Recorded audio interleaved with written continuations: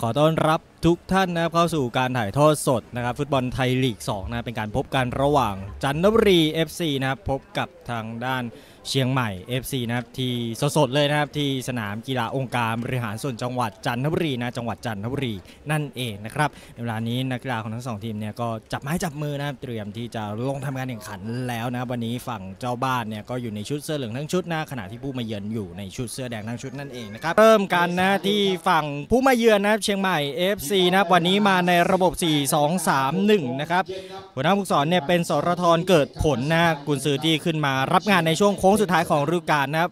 รายชื่อ 11 ผู้เล่นตัวจริงนะประกอบไปด้วยผู้รักษาประตูอิทธิพลคำสุพรมนะครับ แนวรับจากซ้ายไปขวานะครับธรรมยุทธ์ต้นคำนะสราวุ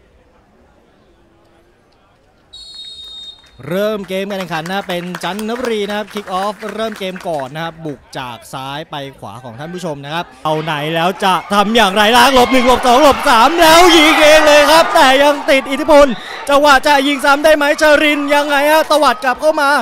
แล้วยังไงปฏิพัฒน์โอ้โหโดนสกัดไว้ได้ก่อนแล้วผู้รักษาประตูเจ็บฮะอิทธิพลคำสูบรมครับต้องมาดูการก่อนฮะผู้ตัดสิน เรียกทีมแพทย์ของฝั่งทีมเยือนฮะมาดูอาการนิดหนึ่งครับโอ้โหได้โอกาสแบบจ่าแจ้งเหมือนกันนะฮะโอ้ไปชมภาพช้าจังหวะนี้อีกครั้งหนึ่งนะครับเบเมโนมารายอนเนี่ยไม่ส่งฮะแล้วแกแหวกหนึ่งแหวกสองแหวกสามแหวกสี่นะครับได้ยิงด้วยฮะโอ้แล้วอิทธิพลเนี่ยโดนโดนกระแทกโดยเปิดลูกเต็มมุมลูกนี้เข้าไปนะมารายอนขอสเข้าไปนะครับโอ้บอลมัน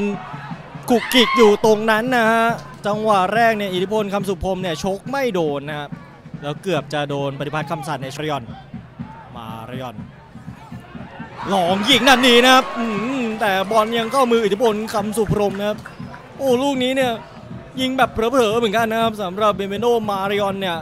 แกไม่เปิดแล้วแกลองสับไกลเลยทันทีนะครับต้อง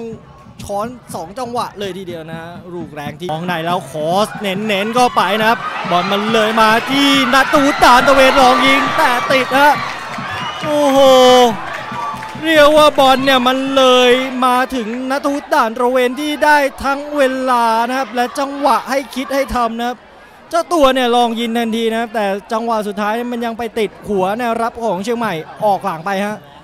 ไปชมภาพช้าจังหวะนี้ครั้งหนึ่งนะครับ เนี่ยสกัดมาเข้าทางนาทูตันตระเวนเนี่ยยิงเน้นๆแล้วนะแต่ก็ยังไปติดนะครับทางด้านธรรมยุทธ์ต้นคำนะฮะพลาดโอกาสขึ้นนำไปอย่างหลายๆ จังหวะอยู่ครับริงโมต้าไปไม่ได้นะแล้วจะโดนแย่งไหมนะครับสำเริงโอ้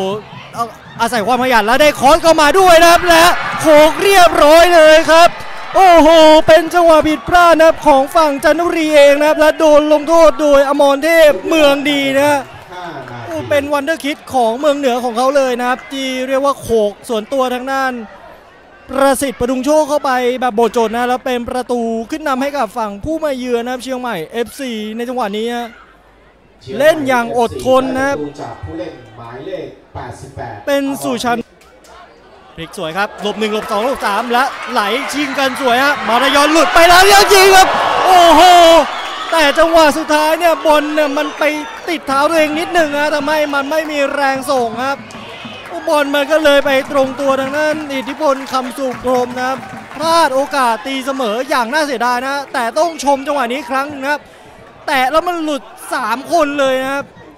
อู้ทำชิ่งกับปฏิพัฒน์อย่างสวยนะ แล้วแตะหนีอีกหนึ่งครั้งและยิงแล้วนะครับ แต่บอลมันไปติดเท้าตัวเองนิดหนึ่งฮะ โอ้ต่อไปนะครับทำชิงการปฏิพัฒน์กำสัตว์ไหลเข้ากลางมาให้เทวาลองส่งไกลแล้วลูกนี้ชนกัน แล้วบอลมันไปเข้าทางมารยอนนะโอ้โหแต่แต่อะไรหรือเปล่าฮะ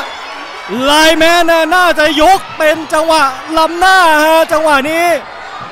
อยู่ในจังหวะล้ำหน้าหรือไม่นะครับ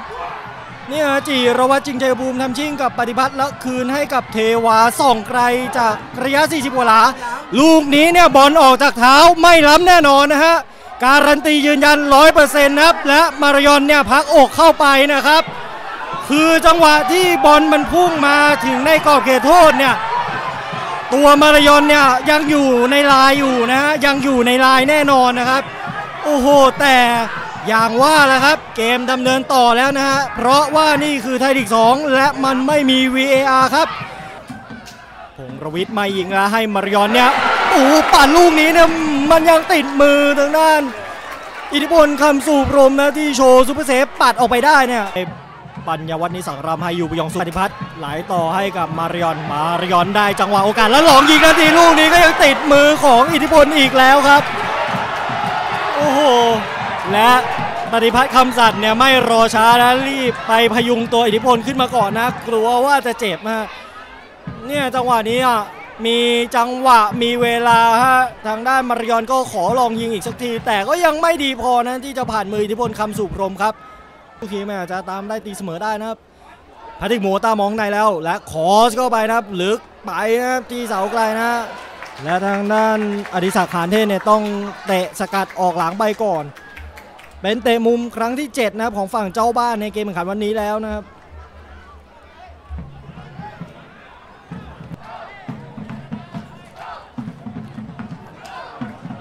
วิทย์ขอเข้าไปที่ปากประตูแล้วเรียบร้อยครับเช็ดแล้วหิ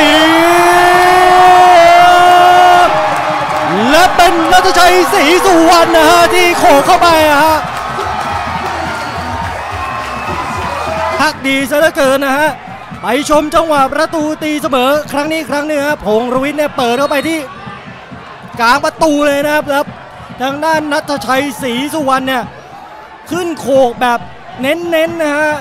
เลือกมุมเลือกฉากเรียบร้อยนะครับ และไม่เหลือลูกนี้เนี่ยไม่มีใครขึ้นมาแบบเรียกว่ามากดดันเขาเลยนะฮะนี่ฮะที่ประกบอยู่เนี่ยเป็นอดีศักดิ์หานเทพนะครับ แต่ไม่ได้ขึ้นด้วยนะครับโอ้เข้าในและจิรวัตรทำชิงกันสวยครับและบอลไปถึงนักตวุฒิจาดาชาโลยิงครับลูกนี้มันเบิดเหินข้ามคานออกไป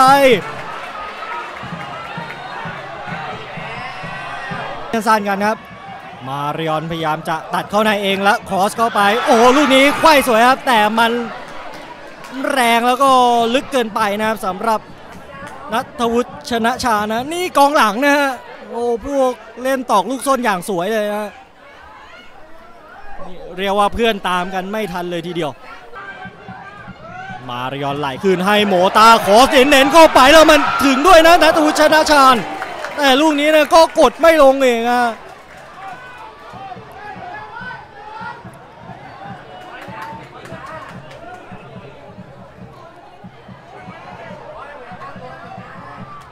เนี่ยบอลเนี่ยมันไม่โดนศีรษะดีนะครับสำหรับนัทวุฒิชนะชาญเนี่ยนาคินลองคอสก็มาแล้วมันถึงลูกนี้เนี่ยยูเนี่ยพยายามไปกดดันแล้วเป็นฟาวประสิทธิ์ประทุมโชคไปก่อนนะครับ ยูปยองซูต้องขอโทษเลยฮะ